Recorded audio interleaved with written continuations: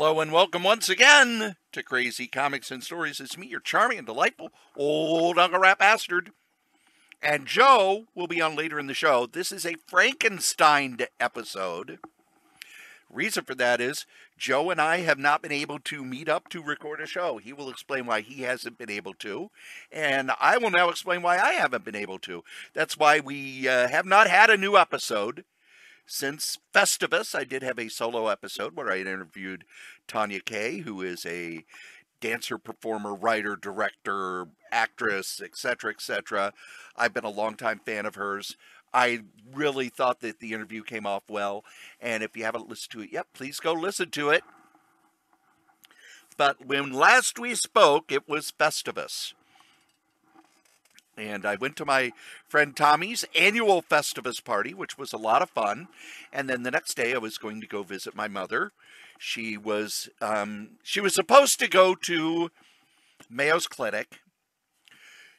She has uh, an issue that they were going to do some pre-work on. She was going to go there for the evaluation, get everything set, and then go back in February for a surgery. Well, the problem is that when she went in for them to do the examination and everything, they said that she was not healthy enough for the examination. And they actually admitted her.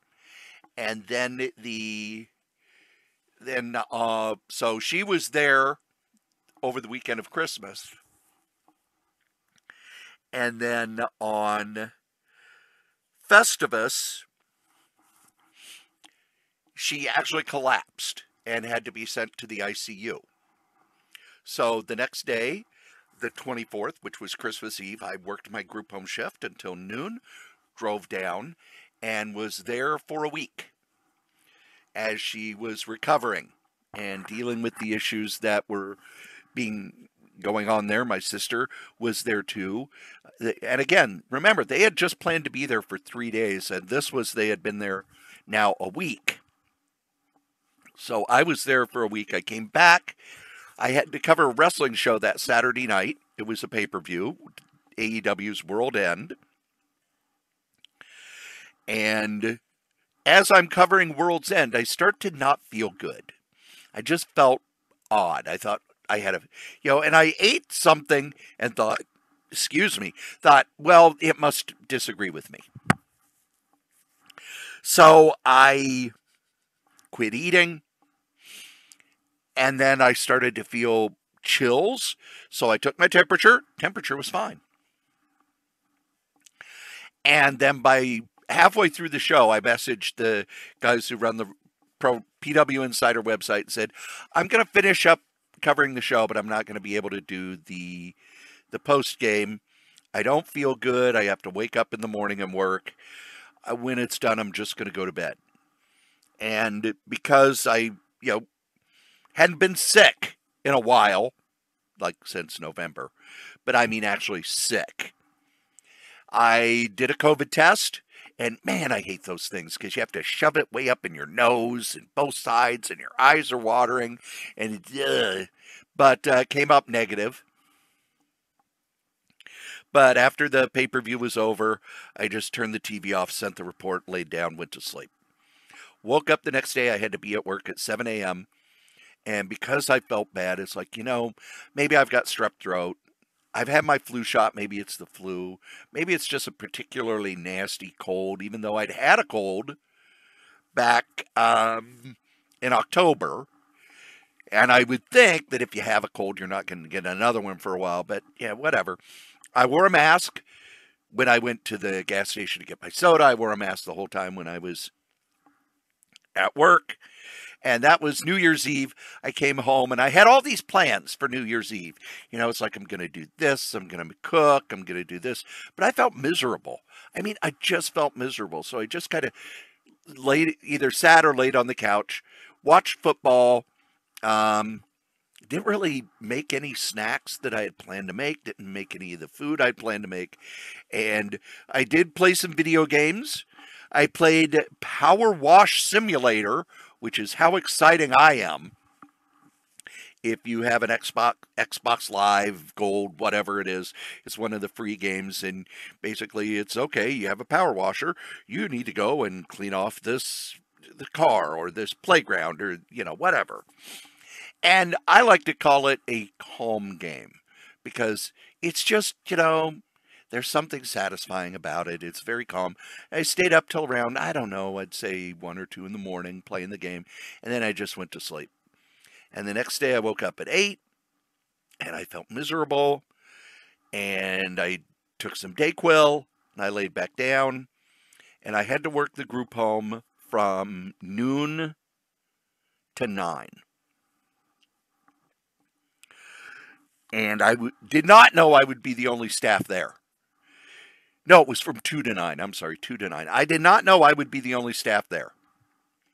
So I worked the group home. And again, I didn't feel good. So I wore a mask the whole time. And when I'm giving meds or stuff, I used hand sanitizer because if I've got the cold, I don't want to give it to them. So I do all that, and I the, the dinner had not been made, nothing had been taken out and thought out. So it's like, okay, what can I throw together at the last minute? I threw something together at the last minute. One of the client has to have their food chopped up and it was like I don't feel good at all. Rather than chop it up, I'm just going to use the, the, you know, basically the the mechanical thing to chop it up. The other thing about that at the group home, I did not know I was working solo, and one of the pe- and the person that I normally work with on if I'm in on a Monday is a college student, and if things are quiet, he's going to do his homework, and that's perfectly fine. So I thought he was in the staff room doing his homework. And it wasn't until about four o'clock that I went in to say, I don't feel real good. Can you take care of dinner? I go in, he's not there. I look at the schedule and it's like, okay, that person's not here. What's the detail? Oh, they took the day off and we only have one staff. So I made dinner, and one of the clients who has their food chopped up didn't like the fact that I had used the, the machine to kind of grind it up a little bit. So she threw a fit, and I, I literally said, I don't feel good. You don't want me handling your food, or you will get sick as well. So you can throw a fit if you want, but I'd rather if you just ate because I don't feel good. And she started to throw a fit and saw just how horrible I looked. I actually looked in the mirror and it's like, oh, I look like death. I look like something death, death brought with it in its suitcase. And she said, I'll have it for lunch tomorrow. Can I just have a peanut butter sandwich? Fine. I made a peanut butter sandwich. Um, they, they watched TV. I was zoning out the whole time. I was actually texting friends saying, I really feel miserable. I didn't realize I was working alone for the last three hours. And I made sure that I, because I felt bad, it's like, okay, I'm only going to think what's the very next thing I have to do rather than, oh, here's all the stuff I got to do all night. So it was okay. After dinner, what do I need to do? I need to get this client to bed. And we have to use a lift machine to get her into bed because she can't, you know, she, she can't move herself. Boom, get her into bed, get her covered up. Okay, what's next? Next is medications. This person has medication. All right, I'm going to get their medication. Again, hand sanitizer, wore the mask the whole time, gave the meds. After the meds, it's like, okay, I need to clean up after supper that took normally I can get that done 10 15 minutes. It took a little over a half hour because I just was so just out of it and miserable. And I'm all done and I sit down on the couch and the two clients who were still up, very self-sufficient. And around 8:30 they decided they were going to go to bed, which was fine with me and they went to bed early because they'd stayed up the night before was New Year's Eve, so they had stayed up with their family and come back during the day. And when they go to bed, I just kind of am laying there, just not laying there. I'm sitting there, but I'm just kind of out of it until the nine o'clock staff comes in. I come home, and I get home, and normally after I get home, it takes me a while to wind down. So I'll read a couple comics or I'll watch something on TV or I'll play a video game or read a book or something. Nope, not this time. I got home, I locked the door, and I just fell on the couch. And thank goodness I have the lights programmed to go off at 11 o'clock because I didn't even have the energy to tell the um, tell the lights to turn themselves off. So I had to work at the office job the next day. And I wanted, you know, I when, when you get some time off, because I had a week off, it was supposed to be to visit my parents in Illinois. Instead, I had spent the whole week at Mayo's Clinic with my mother, sitting in the waiting room of the ICU.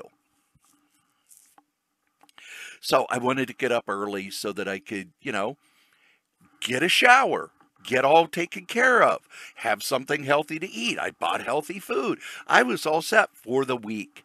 And instead the alarm went off at 7:30 and it went off again at 8 and then at a quarter after 8 I finally dragged myself out of bed off the couch. I get a soda, I make a hot tea, I put it in my my lovely um, Contigo uh, coffee mug, which will keep it warm for eh, almost eight hours, which is amazing. And I sit at my desk and it's like, I really don't feel good. I feel kind of dizzy. And it's the best way to describe it is I felt like I was not in complete control of myself. That it wasn't that I was out of body, it was more that, oh, yeah, that's my hand. And I would need to think, I need to take my hand and grab the mouse. Rather than just doing it automatically, I had to concentrate on doing that. And then at about 20 minutes into my shift, I said, you know, I should go to the bathroom. I really need to go to the bathroom. I got up and I remember being very dizzy and I remember falling. I passed out. And in passing out, I actually knocked over a box that I put comics in that I had just gotten from DCB service. So I wake up, I'm in the middle of the living room floor, comics all around me, confused as hell because I had passed out. And I look at the clock, and I may have been out for like one or two minutes. I have the, I have the uh, the the peace of mind to go to my work computer and type in, I just passed out. I need to go to the ER. I probably will not be working my hours today. Send it to my supervisor. I didn't log out, which I found out later. I didn't log out. I just sent it and made sure that I yeah, logged out time card wise, but I didn't log out of the system. And I go to the bathroom and I come back and I, you know, I've been through first aid training, et cetera, et cetera. When you pass out, first thing you do when somebody passes out is you call 911. I don't want to have to pay for an ambulance.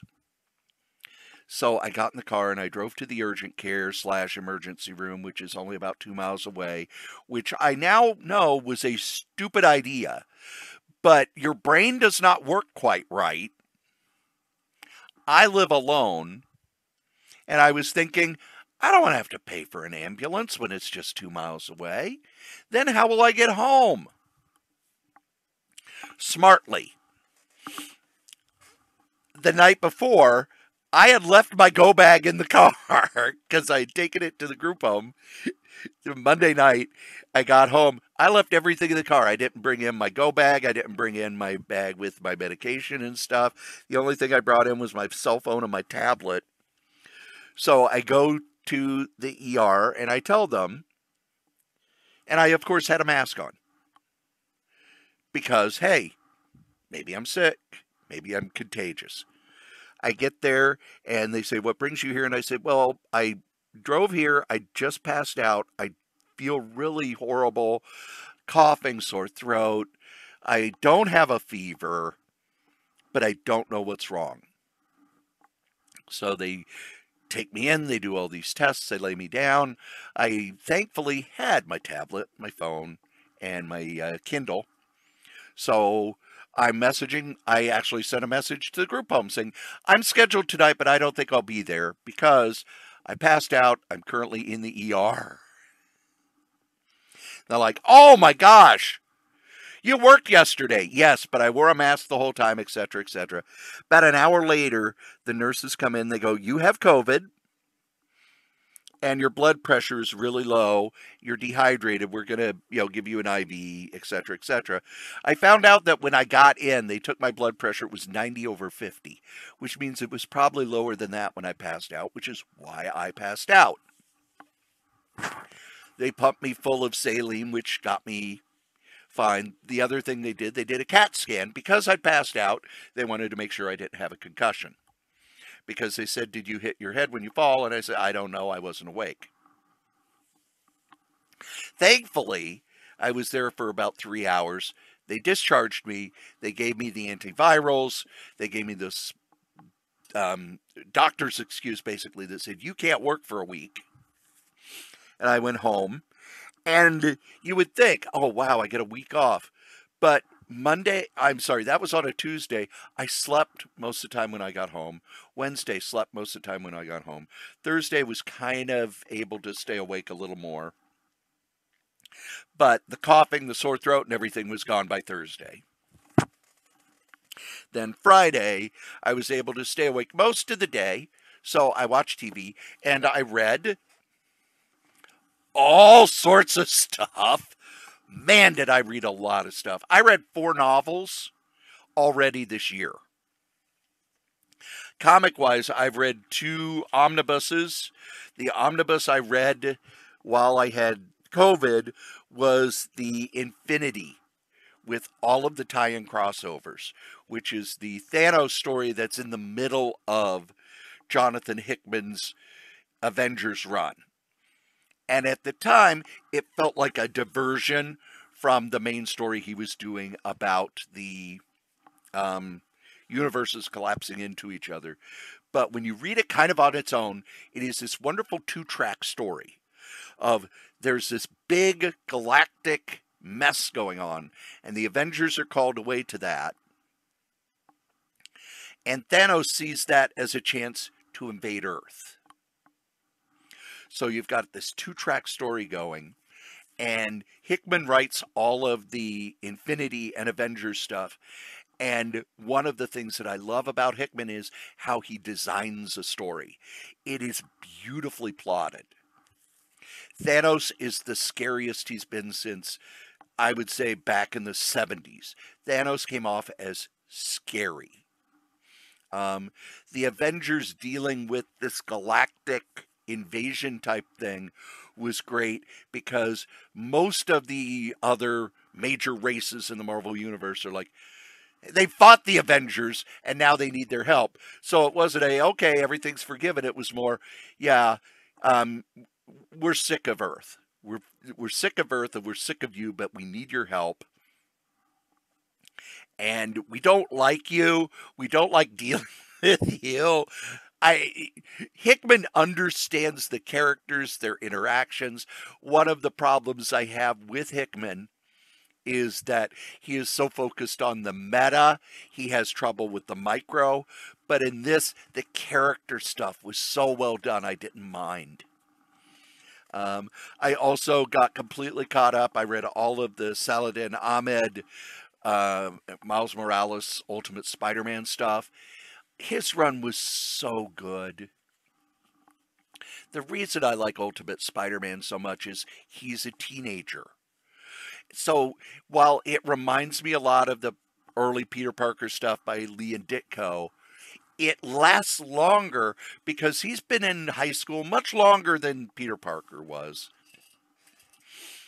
They his family knows he's Spider-Man. They have set up a really cool supporting cast. I just I don't mind that there are two Spider-Men because they're such different characters and the, the Miles Morales Spider-Man I like teenage superheroes because you have the inherent drama of a teenager. And for me, as an older person, it's very nostalgic. And I still think that when I was a teenager, yeah, I love Spider Man and I love this character and I love that character, but I like Nova a lot. Why? Because he was my age. I like the Human Torch a lot. Why? Because he was a teenager. Um, I like Spider Man. He was a college student. You need you need the grown up superheroes, you know, like Reed Richards and Ben Grimm and everything. But you've got to have characters that your younger audience can say, oh, they're a lot like me but I was out again for a week. So really, after Christmas, I had two weeks off. And neither one of them were actually vacations because one of them I was at Mayo's at my mother's side, very worried about her as she continues to get better. It looks like that she may be going home on the 27th. So that will mean she has been there for over a month. Hopefully, she's going to continue to improve so that she could go home on the 27th. Everyone in the family has their fingers crossed. I'm not a religious person, but there are a lot of people praying for her as well. But that was not a vacation because you're most of the time I was in the waiting room. I remember I was in the waiting room pretty much all day Christmas. I would be able to go in and see her for an hour or two at a time. I was not cognizant enough to watch football, but I did switch the TV in the waiting room to football because people were coming in and out. No one stayed there all day like I did and my sister did. They would come in for an hour or so because they were going to visit a relative, or the doctors or the other people would come in on their break and eat their lunch there, and they would have the Christmas football games. But if there wasn't a football game for somebody to watch, I basically would put it on the, the soothing, calming, relaxing music and I would read. And then the week after that, the week after New Year's, I had COVID. So I was just uh, in a, in a sleep coma. I still am much more tired than I was before. The actual hard part of COVID, I got through pretty quickly you know, what, Saturday, Sunday, Monday, Tuesday, by Wednesday, I no longer had the sore throat and all that. But I still am sleeping more than I have in the past. And then Saturday, um, Saturday and Sunday were actually days where I felt good enough that I actually enjoyed it. So I was off for two weeks, but I really only had a vacation for a weekend. I'm now back at the office job. Um, and then Joe has been out of town. There are times when we're going to record, but he is dealing with something that he talks about later, or I am driving down to visit my mother whenever I can. So, regular episodes resume next week. We have previews episode. It's already recorded. It's being edited. It will be out on Monday, and we're going to do everything in our power to make sure that we're back on Mondays. Other other stuff that I would recommend. I went through a flurry of books from Hard Case Crime. Um, I was borrowing them from the library electronically. and the ones that I am recommending because they were so good and so much fun and just great crime novels. Later, by Stephen King. Stephen King has done three books for Hard Case Crime Joyland, um, Haven. Is it Haven? Is that the name of it? No, it's the Colorado Kid. The Colorado Kid, which was the basis for Haven. Uh, Colorado Kid, I hated the ending. Um, Joyland, I absolutely loved. And then this new one, which came out I say new, it came out three years ago. Um, later, it's about a young man who is able to talk to people for a while after they die. And there is a crime story involved because it's hard case crime, and that's what they do. I've been reading Stephen King pretty much since Jim Starlin had Ben Grimm reading Salem's Lot in Marvel 2 in 1 Annual Number 2 in 1977. His stuff for hard case crime is some of his best stuff. It's very lean, it's very tight, it's very clear he has an editor who holds him to task. And I think that that is very important for writers to have someone outside who basically says you don't need that. You don't need that. Trim that down. You're basically stripping the story down to the bare essentials. And I really enjoyed it for that reason. The next book that I read was Quarry's Blood by Max Allan Collins. Quarry is his hitman character that he has done a whole bunch of novels on. I think they're up to 16. Uh, Max Allan Collins was a person who got me into reading crimes fiction. Before that, I'd read horror, science fiction, and fantasy, and I read the comic Ms. Tree, which I did not realize was a pun until much later, because I'm not that bright. And Quarry's Blood takes place after the last quarry which was supposed to be the last novel but he came up with an idea for something that happens after that. Really good crime novel. I liked it a lot. I read tough tender no that not tough tender sorry i apologize for that i read there it is too many bullets by max allan collins which is his nate heller character which is a private detective who interacts with real characters. This one was about the Robert F. Kennedy assassination. Again, Max Allan Collins, one of my favorite writers. Excellent book. You can believe it or not, but it basically is purporting to tell the true story of what happened with RFK's assassination based on um, all the stuff that people have researched and everything. Of course, he puts a fictional character into it, but even with the fictional character into it, he uses real characters, real events, etc., etc. I read two books from Scott Von Doviak, who is a new writer, and I think the only thing he has done so far has been for hard case crime. I'm going to double check that real quick. Scott Von Doviak. Let's see if he's written any other books.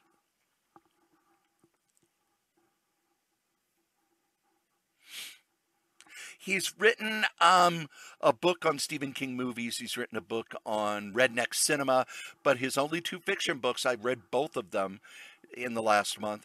First one is Charlesgate Confidential, which is a really ambitious story about an art theft and it's told at the time of the art theft, which is the 1940s. A story in the 80s about that same building that has now become a college dorm. And one of the people involved in the art theft becomes involved with somebody who lives in the dorm. And then current which is the aftermath of all those things, putting all the pieces together. And doing a story, doing a story set in different time periods is hard. Doing a story set in time different time periods where you have this chapter in this time period, the next chapters in the next time period, the next chapters in the next time period, boom, boom, boom, one, two, three, for the entire book is incredibly hard, but he's able to pull it off. The other book he did is Lowdown Road, which is just a straight crime story where um, some people steal a bunch of drugs and they're going to drive up to Evel Knievel, jumping the Snake River Canyon to sell them to all the bikers there. And everybody involved, it's almost a chase. It is a chase novel.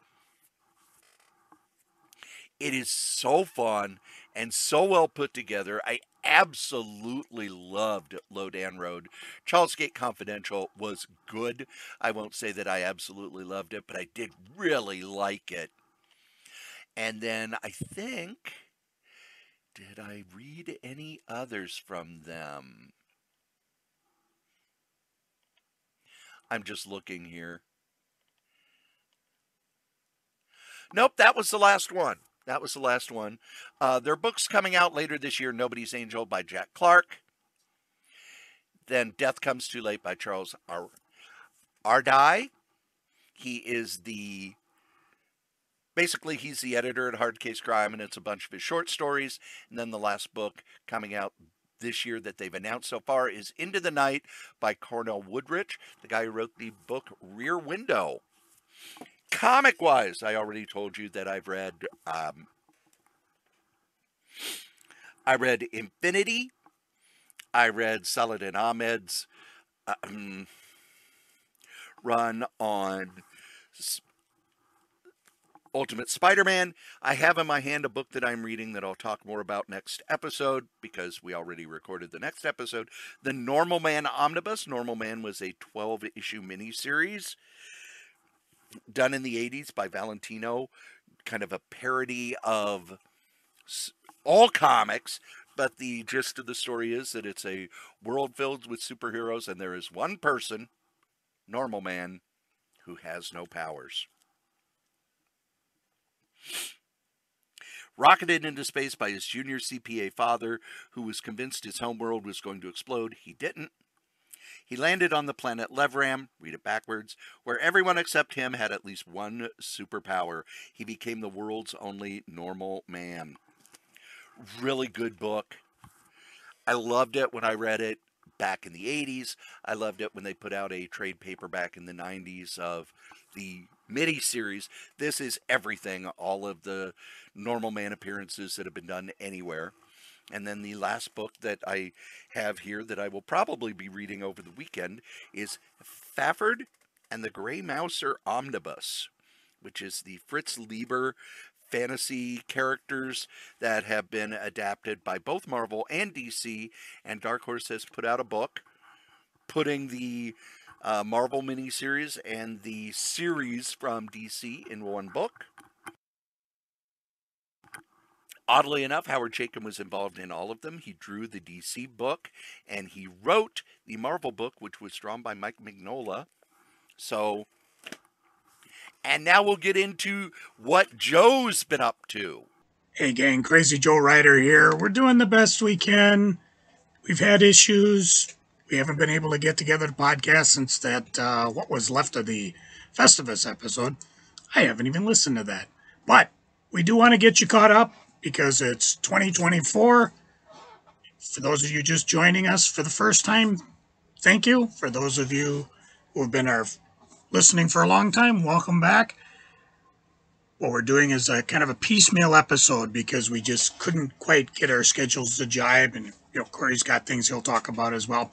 And of course, I want to talk about what we've been doing these last couple weeks since the Festivus episode. A couple good things health wise, First off, I have been able to find a therapist. I know I've been freaking about it.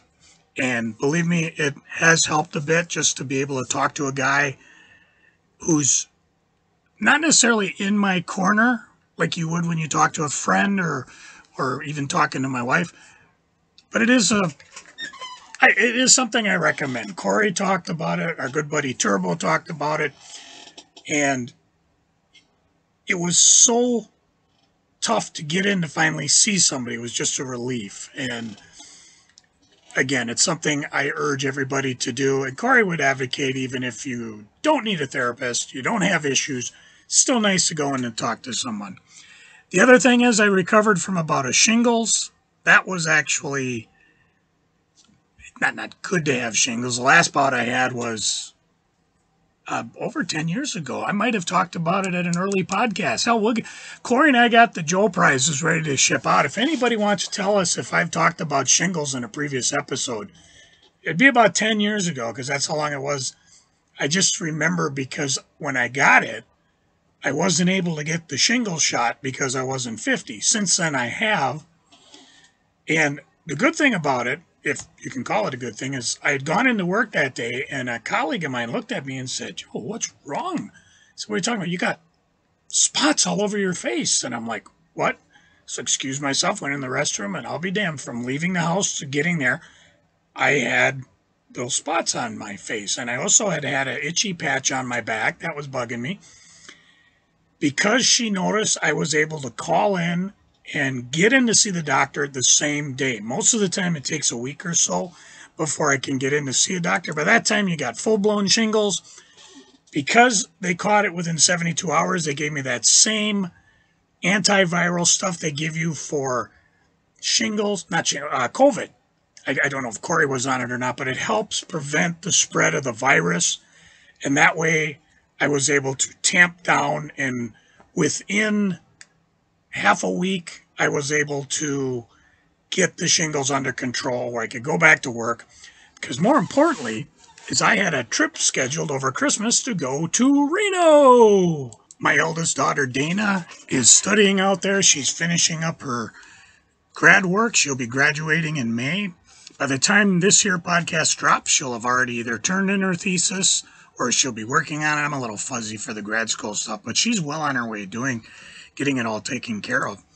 So we had this whole trip planned to Reno, and because the shingles was taken care of before I left, no problem. I was able to take off and do it. One thing that was interesting, we went through Minneapolis Airport, obviously. We had, flew Delta, go to Salt Lake City to Reno, and it worked out real well. If you ever do get through the Minneapolis Airport, check out the Prince store there. It's in the main concourse, sort of between the footprint of where the F concourse starts and the G concourse is. Just a fascinating place to visit, especially if you're a Prince fan. Oh, sure, you can go to Paisley Park if you're in town, but they actually had handwritten lyrics on display. They were handwritten for the sign at the Times album released in 1987 and Prince's own handwriting. I absolutely love stuff like that. So, anyways, we got to Reno, no problem. Flight was great. Delta was fantastic. TSA was quick and easy. Reno's a beautiful place. Little hazy. Weather was 40, 50, which was nice. And I could talk a lot about what we did in Reno. A lot of drinking, a lot of eating. But of course, you guys just want to hear about the comic stores I checked out. I got to tell you, they're pretty much the same shops that we visited the last time I was in Reno. Again, a Joe Prize for anybody wants to pick that one up. Hint, two years ago.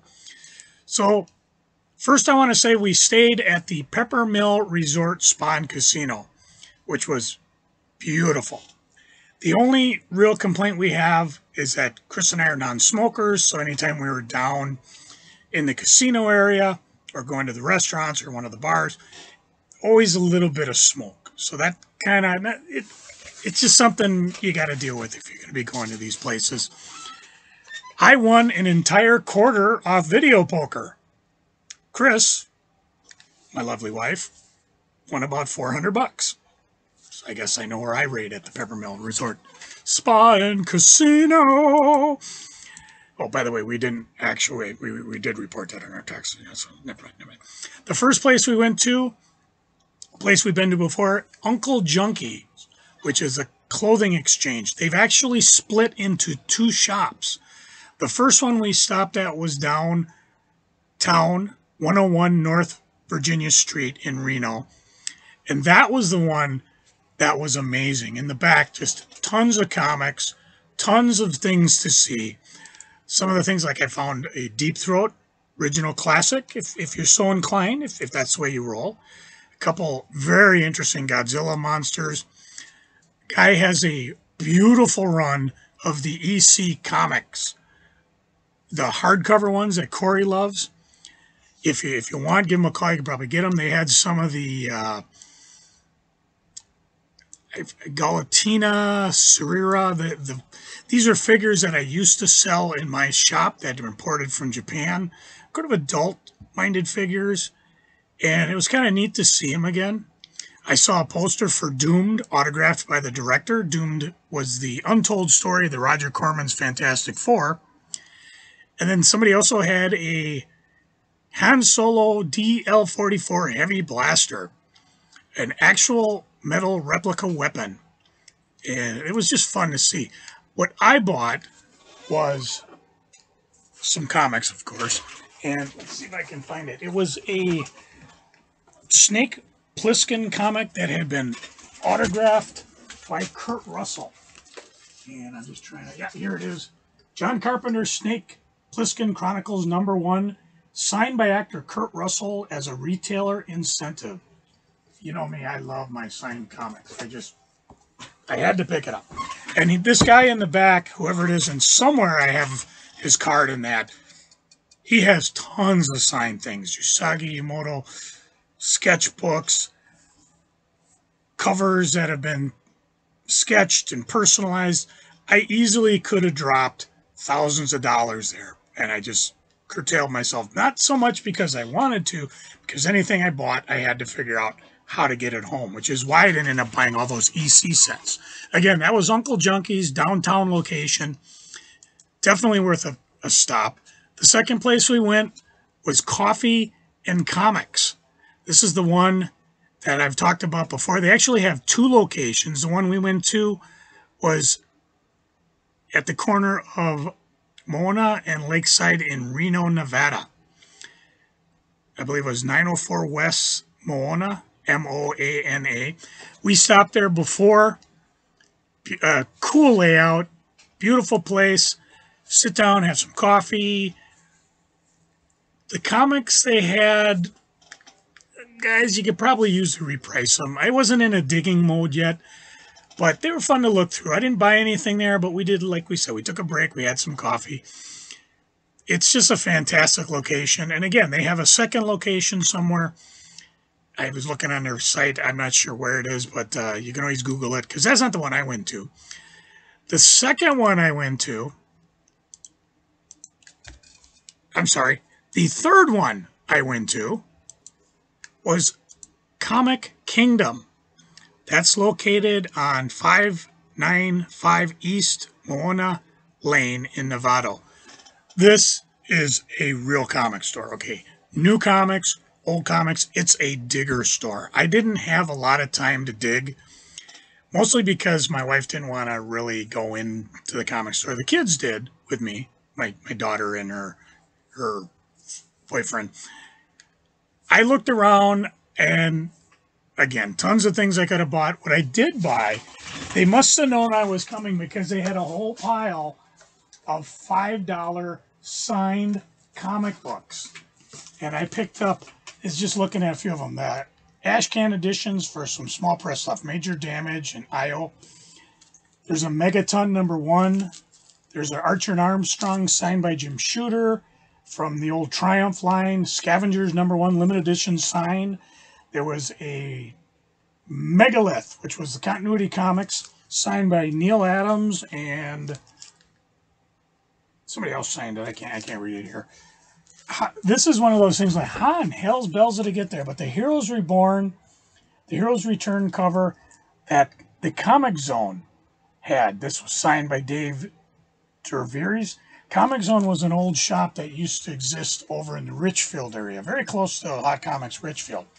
And I think this is the comic that might have sunk them because the worst part was is it was a comic exclusive. So God knows how many of these things they bought. However, when they did the ad in the Wizard, the phone number was wrong.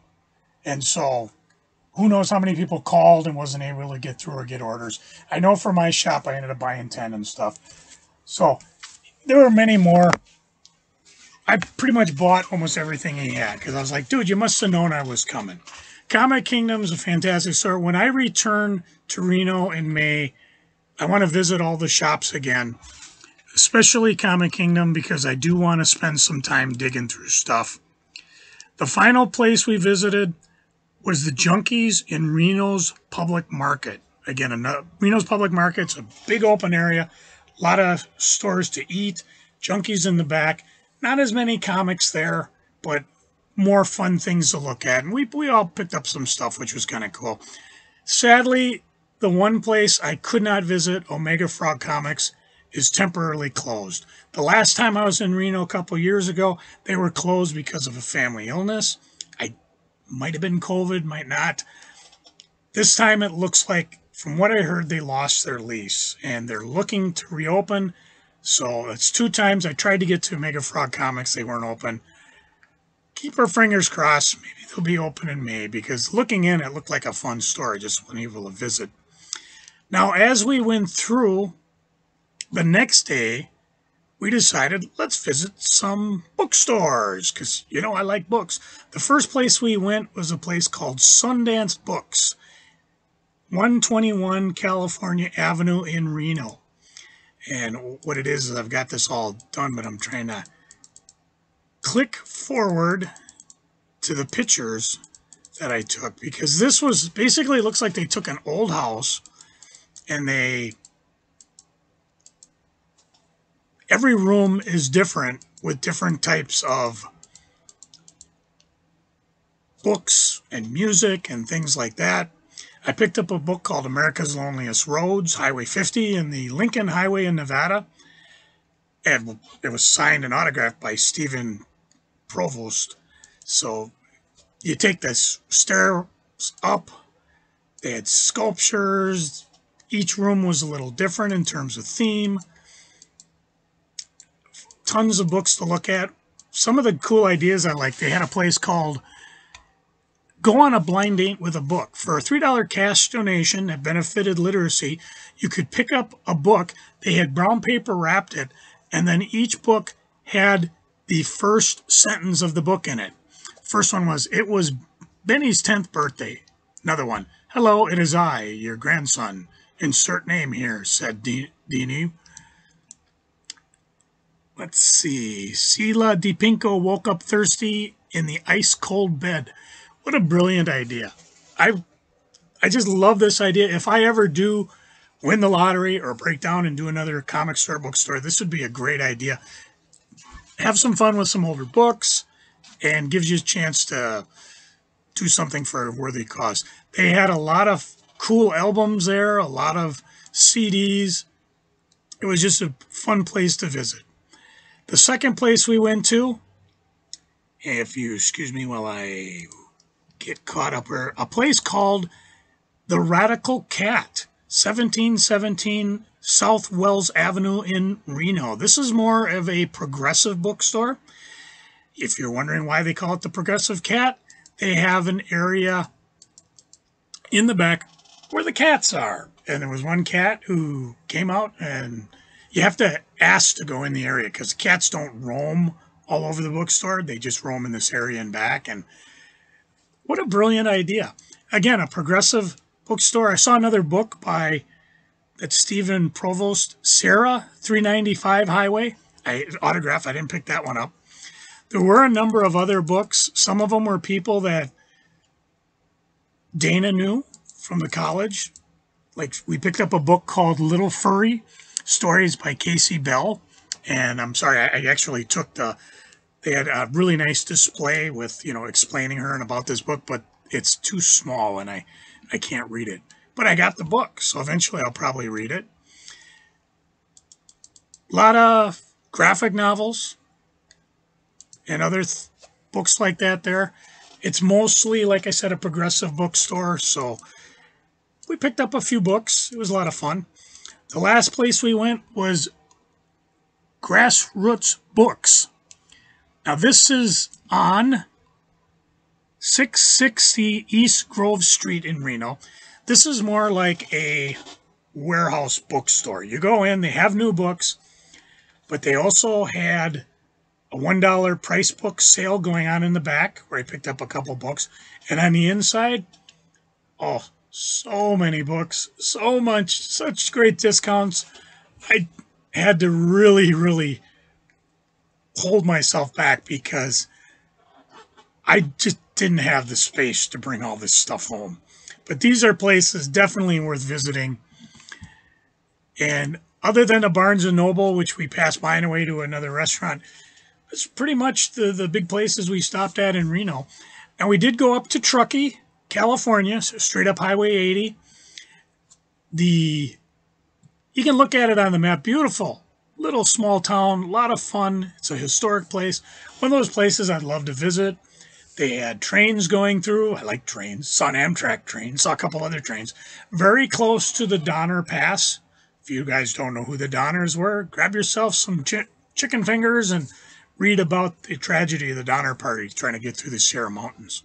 I say tragedy because even as we speak, there was a snowstorm.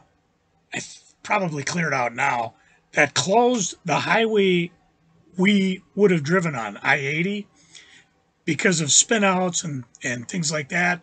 This is the Sierra Mountains. They get a lot of snow up there. Matter of fact, when the snowstorm rumbled over the mountains, parts of Reno lost power. Dana said they didn't, but I was just a little worried there. I heard there's a tornado near Reno. Is that anywhere where you are? the one bookstore there, Word After Word Books, was closed. Ugh. The holiday hours, the one day a week Thursday. I mean, we went between Christmas and New Year's. So there were a lot of people there, and even some of the people we were with were like, Why are all these people here? It's like, Why are the kids here? It's like, Well, it is the holiday season. So, of course, a lot of families would be out visiting, and Truckee a beautiful place to visit. Reno was a lot of fun. I say that about the kids because we went downtown to Circus Circus, which again, casino hotel. Circus Circus inside is a lot of flashy games, video games. Dana is trying to win a pickleball set. It's one of those places where, like, it probably you could go out and buy a pickleball set for less, but it's more fun to play skeet ball or or press the cart and basketball shoots or whatever. We actually played a superpower game for DC Superpowers where you you drop the coins and coins drop and then certain ones and they will drop and they keep pushing pushing and then you can get some cards and things like that. And we played until we actually got some cards. I got one of them. It's a batman superhero series 3 it feels like a phone card but I think what it is is you you buy the set and then you turn them in to get extra points. Dana doesn't really want to play that game. We played it. Played a lot of skee ball. Got her about a thousand points toward her pickleball set, so that was a lot of fun. But again, not as much smoke, but it was very crowded because of the kids. They actually had a floor show going on. It was just a lot of fun. And of course, we went out to dinner at a place called Roxy Steak and Seafood and we spent about 500 bucks. Not the best steak I've ever had. Again, it's four people with drinks, but probably number three on the list. And for that type of price, yeah, it better be. It was a wonderful time heading out to Reno. I loved it. I, I got Reno on the brain. I could easily move out there.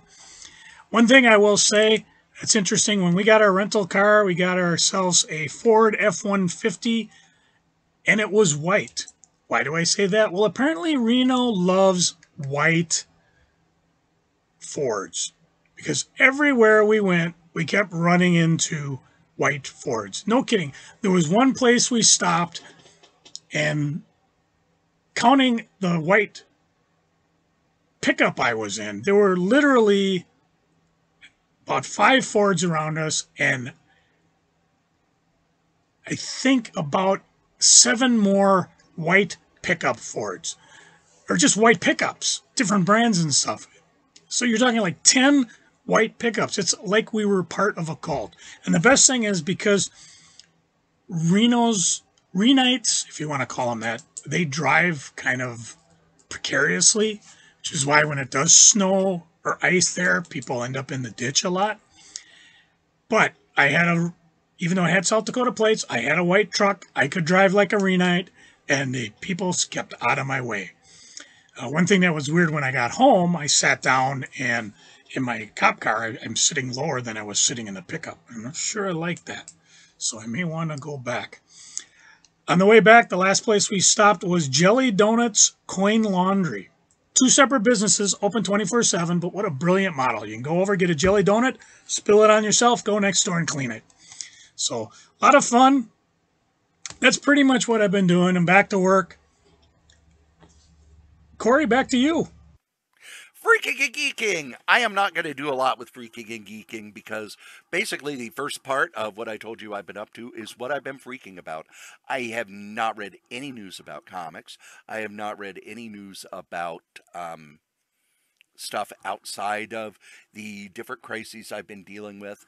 Uh, so my freaking is going to be I would I looked at what I've been dealing with since early November. And actually, if you want to go a little before that, my mother was diagnosed with the issue she has in October. Then I got sick in November. Then my sister passed away um, the day after Christmas. Then um, my mother goes to Mayo's and is there. It's now been a month. And then I'm sick. I get COVID and work has been very stressful with a couple of problems, one of which I created and one of which they created, that really ramped my anxiety up to enormous levels. And I think part of it is that there's all this other stuff that's going on. So anything else that sort of rocks the apple cart is going to make my anxiety go through the roof. Um, I have not had time for a therapy appointment. Joe talks about how he started therapy. I haven't had time for a therapy appointment. I don't have time for one until February when I'm going to be getting back on that wagon. So, um, my freaking is that I'm super stressed and I would just like a few months where there's no new crises happening. Geeking. I have been using the digital library loan for the past three weeks when I'm visiting my mother or when I'm in the waiting room so that if I read a book, I can just go on my phone, return it, get another book. And it pops up on my Kindle. I don't want to be carrying around a bunch of books and omnibuses and everything when I go down to when I go to the group home or when I go down to visit my mother but when you know you when you know somebody who's in the hospital, you spend a lot of time just waiting. And I spend my waiting time reading. So digital library loans have been amazing. Reading comics on my Kindle has been amazing. Uh, I'm sorry, on my tablet has been amazing. Uh, Comixology, which used to be what they had with Amazon, is gone but you can still access them through Kindle. So I will use the Kindle app on my tablet for a lot of the digital comics I have purchased. I purchased back a while back. They had a Masterworks sale where they were selling off Masterworks for $1.99 and $3.99, and I went nuts buying all of them. And I'm so glad I did because now it's like I have pretty much all the Atlas um, digital stuff. I have a whole bunch of other masterworks digitally. And while I think the price for a masterwork has gone insane because pretty much a, a omnibus is like three masterworks in one. And a masterwork is 75 to 90 to $100. An omnibus is 100 to $150. Sorry, I'm going to get the omnibus. It's bigger. It has everything from the Masterworks and stuff, basically stuff they didn't have when they put the Masterworks together. But the fact that I have access to all this stuff digitally has been amazing. It's helped me like you can't believe. It's also been a source of comfort in that you're in a hotel room dealing with a lot of stressful stuff. I read before I go to bed. It's really nice to just lay down, open up my tablet. I'm going to read some comics. Just get me some entertainment that takes my mind off everything that's going on. And that's really what I've been geeking on.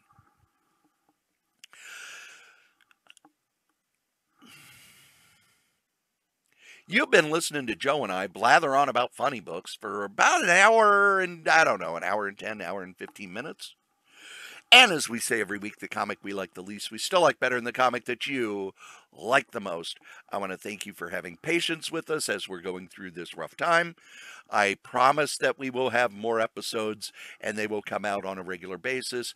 Joe and I are going to be putting together some fill in episodes for when this sort of thing happens. And we hope this th- sort of thing doesn't happen anymore. I hope you had a wonderful holiday and that you're not dealing with as much bullshit as I am freaking. I, I've really only got a couple things I'm freaking on. The first thing is it's that time of year again. Their government shutdown. They're starting to talk about it. Yeah, there's some good news, bad news, but until it's passed, it's it's weird because they've got to do it twice. They did like half the government that shuts down probably within a week of this podcast dropping if they don't approve a budget. And then because I'm part of the Homeland Security, they approved us through like February 2nd or something. So just like I was freaking on back in was it October, November? I forget what it was. It's it blurs. It's a same old song and dance. Maybe shut down. Who knows? And the other thing that I'm kind of freaking on, and I think, well, by the time we record our next podcast, it'll be a couple days away. But my wife's going in for surgery next week to de deviate her septum because she's been having problems with it, and she was going to do it a couple months ago, but caught the vid, and now we're very carefully wearing our mask and making sure we're not around anybody to, you know, catch anything. Because I last thing I need is a cold, and I've gotten all my shots and everything. But you know. I, I said back to. I said back to you, Cory. What are you freaking on? Geeking, geeking on a couple things. You know, I'm buzzing away on my eBay, and since I'm not planning on doing a con anytime soon, I am still ready to make deals and do stuff. I've been putting on lots of stuff. You guys can have the front door. Go to Kray Z Comics and stuff on my Facebook page, or just go to eBay, look for Crazy. Cory will put the link somewhere in the broadcast. Check it out. If you see something you like, even if I haven't put best offer on it, because you're a valued listener to the podcast, I will probably cut you a deal on it. More importantly, with the government shuts down, I need to be selling this crap. I'll be going to work. I just won't get paid for it until they do pass the budget. So, another thing that there's a couple new stores that have popped up, and by the time, well, the first one is called Bricks and Minifigs in Roseville. This is a Lego type store where they have lots of things and I went by it today, and they're actually open.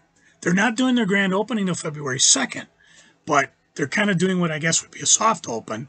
So I may go visit and check it out. Maybe get an interview with these guys. But they're located on 1688 Lexington Avenue North in, well, says St. Paul, but actually on the Roseville side of things. And then, of course, a block over in the same shopping mall side is Mr. Zero's, which is a fantastic secondhand shop place to check out. Another place that's opening up, Mint in the Box Toys.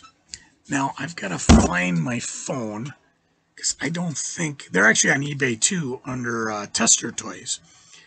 But they're opening up a store in Shoreview. I'm sorry, Stillwater. And their address is going to be one six. I'm sorry, 1465 Frontage Road West in Stillwater. Their hours are going to be Tuesday through Saturday, which sucks because I'm off Monday usually. And their grand opening will have dropped by the time this podcast hits. Though a grand opening will be the 12th of January. And of course, I can't get there till the following Tuesday. So all you guys are going to get the, you got three days to get the good stuff before I head out there. So that's kind of exciting. Uh, they've been talking for months about this, you know, saying we've been stocking toys for ages, and they've been on Facebook. You can find under Mint in the Box Toys. So a lot of exciting stuff going there.